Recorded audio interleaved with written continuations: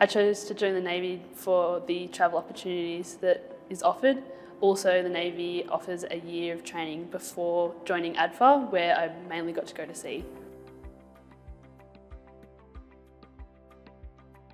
You'll study for three to four years, depending on what degree you decide to do. There will also be military training added in with that, and at the end of it, you'll receive a graduation certificate from University of New South Wales.